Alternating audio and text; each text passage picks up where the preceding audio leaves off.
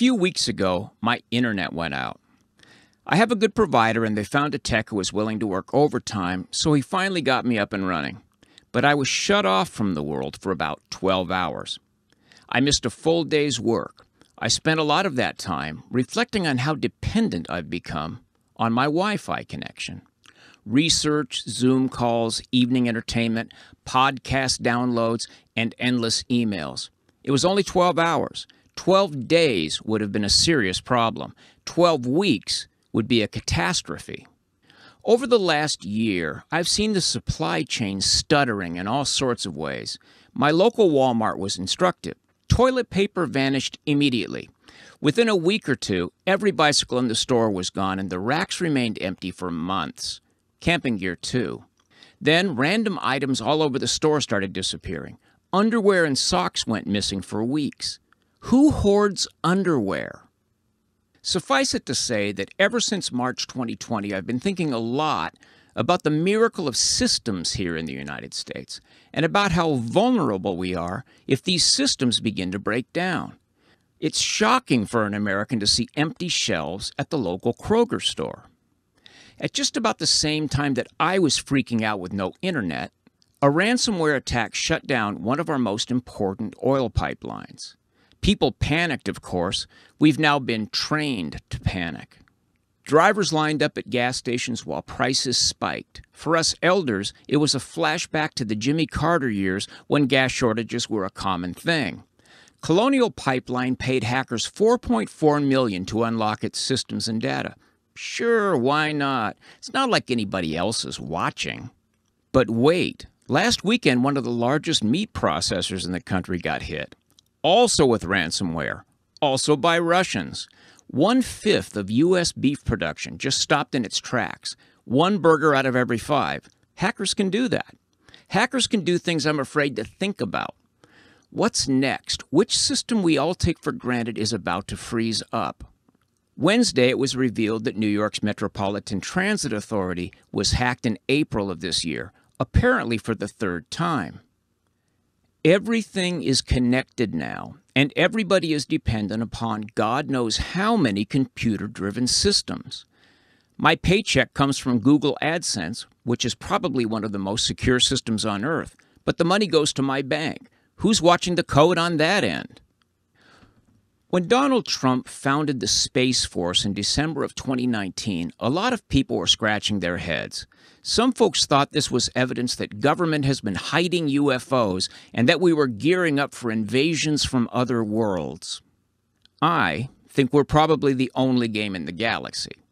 So I assumed that the Space Force was mostly about the swarm of satellites now circling the globe making sure we can protect the ones we depend on and knock out the satellites our enemies depend on. You know, if it comes to that. It's busy up there, kind of like this.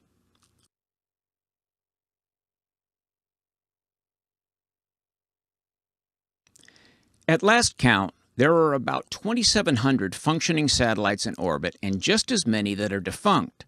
SpaceX has 1,500 up already and plans to add 12,000 more by 2028. Amazon aims to do something similar.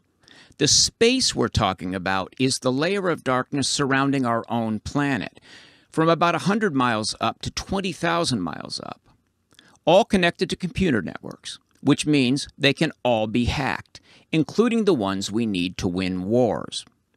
The Air Force is so nervous about this that they challenged hackers last year just so they could see if there were vulnerabilities. Spoiler alert, there were. I myself was hoping Trump would give us a cyberspace force as well, a nerd army of super hackers defending our interests from secret basements all over the country. Maybe I've seen too many movies with disheveled geniuses pulling international strings while eating cold pizza. But if it's possible for our hackers to keep tabs on their hackers, then I hope to God we're doing so. Almost as frightening is that so many private networks contain so much of our information. Remember when Target was hacked in 2013, compromising tens of millions of Americans? How about the Equifax breach three years later? Hackers accessed the personal data of 145 million consumers in the U.S., including their social security numbers, credit card information, birth dates, addresses, even their driver's license numbers. That's like most of the functioning grown ups. I doubt that I know anybody whose bank account numbers are not on an Amazon server somewhere. This is big stuff. The degree to which we've all become dependent on computers is really frightening.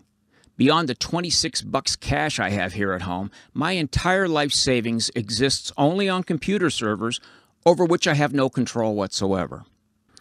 I don't even want to get into the real possibility that our whole electrical grid could be taken out by a few well placed electromagnetic pulses.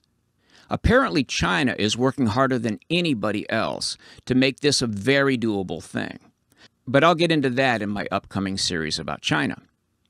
These recent hacks make me think that the guys living in armed camps in the Ozarks with 10 years of food and 20,000 rounds of ammo might not be paranoid throwbacks after all. It might be that these folks have been paying a hell of a lot better attention to our modern day vulnerabilities than I have. Tell me what you think in the comments below. Oh, and if you were part of our recent fundraiser for the orphanage in Uganda, watch for a video later today updating that situation. I'm proud of you guys. I really am. Thanks for watching. If you like this video, subscribe to our channel and then click the little bell to get notifications.